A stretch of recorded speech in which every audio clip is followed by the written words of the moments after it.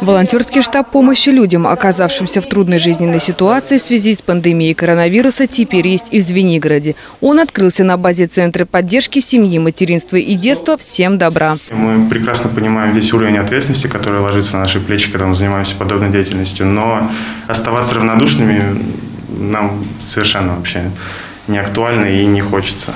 При поддержке главы Одинцовского округа Андрея Иванова на территории Звенигорода запустили акцию «Ты не один» – помощь пациентам больниц, оказавшимся далеко от своих близких.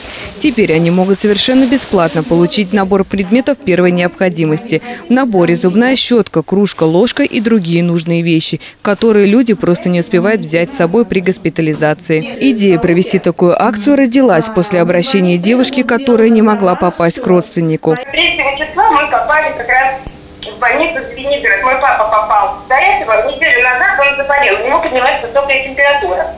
Мы вызвали скорую, ну, вернее, не мы, мы сами в городе Калуга живем, они в Подмосковье, Нарсанинский район. Мы были удивлены помимо того, что я обратила, там было пакет всего. В Звенигороде появились коробки взаимопомощи. Их можно встретить в магазинах и подъездах. Неравнодушные люди кладут туда, например, продукты питания, а нуждающиеся могут взять необходимое. Такая деятельность, она стала востребована. У нас появились и а, спонсоры, которые привозят нам продуктовую помощь. У нас появились неравнодушные люди, которые тоже оказывают помощь. И а, вот наша команда, мы тоже готовы чтобы сделать хоть что-то для людей. С начала работы штаба зарегистрировано уже более 117 заявок на продуктовый набор. И это далеко не все, что будут получать горожане в помощь от волонтеров. Уже готовятся около 300 наборов индивидуальной защиты с масками и перчатками, чтобы те, кто нуждается, получили необходимое. Екатерина Тулупова, Станислав Трифонов, телекомпания «Одинцова».